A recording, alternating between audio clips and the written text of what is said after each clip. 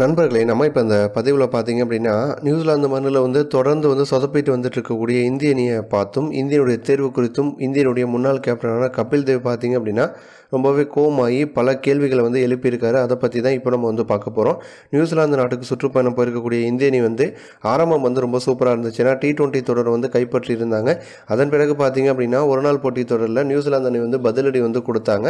அதன் பிறகு இப்போ பார்த்தீங்க அப்படின்னா ரெண்டு போட்டிகள் கொண்ட டெஸ்ட் தொடரில் வந்து முதல் டெஸ்ட் போட்டியில் நியூசிலாந்து அணி வந்து பத்து விக்கெட் வித்தியாசத்தில் சூப்பராக வந்து ஜெயிச்சு டெஸ்ட்டில் பார்த்தீங்க அப்படின்னா இப்போ வந்து முன்னிலையில் வந்து இருக்காங்க. இப்போ இப்போதைய சூழலில் வந்து டெஸ்ட் தொடரை இந்திய அணியில் வந்து கைப்பற்ற முடியாது. அதே நேரம் வந்து ரெண்டாவது டெஸ்ட் போட்டியில் வந்து ஜெயிச்சாங்க அப்படின்னா தொடர் வந்து சமநிலையில் வந்து முடியும். அதே மாதிரி வந்து டெஸ்ட் சாம்பியன்ஷிப்பில் வந்து முதல் இடத்துல இருக்கக்கூடிய இந்திய அணிக்கு வந்து மிகப்பெரிய ஒரு அடியாக தான் வந்து இந்த முதல் தோல்வி வந்து இருந்துச்சு. இப்போ இதை பற்றி கபில் தேவ் வந்து என்ன சொல்லியிருக்காரு அப்படின்னா இந்திய அணியுடைய தோல்விக்கு வந்து முக்கியமான காரணம் என்ன அப்படின்னா சென்ஸ் இல்லாமல் இந்திய வீரர்களுடைய தேர்வு தேர்வு தான் இருக்குது அதுதான் வந்து காரணம் அப்படின்னு அவர் வந்து சொல்லியிருக்காரு.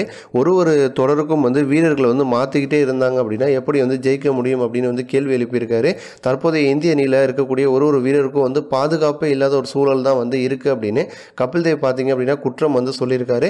இந்த மாதிரி இருக்கும் சூழலில் வந்து எந்த ஒரு வீரராலையும் வந்து சிறப்பாக விளையாட முடியாது அப்படின்னு அவர் வந்து சொல்லியிருக்காரு. இந்தியன் டீமில் நீங்கள் எடுத்துக்கிட்டிங்கன்னா விராட் கோலி புஜாரா ரஹானே போன்ற சர்வதேச தரத்திலான அனுபவம் வாய்ந்த வீரர்கள் இருந்த போதிலுமே கூட ரெண்டு இன்னிங்ஸ் இன்னிங்ஸ்லையுமே பார்த்தீங்கன்னா இந்திய அணியால் வந்து இரநூறு ப்ளஸ் கூட ஸ்கோர் அடிக்க முடியல அப்படின்னா வந்து எப்படி இந்திய அணியால் வந்து ஜெயிக்க முடியும் அப்படின்னு கபில் தேவ் வந்து கேள்வி எழுப்பியிருக்காரு.